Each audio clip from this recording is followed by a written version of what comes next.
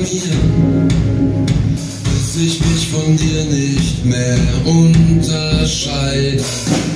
Du kannst es nicht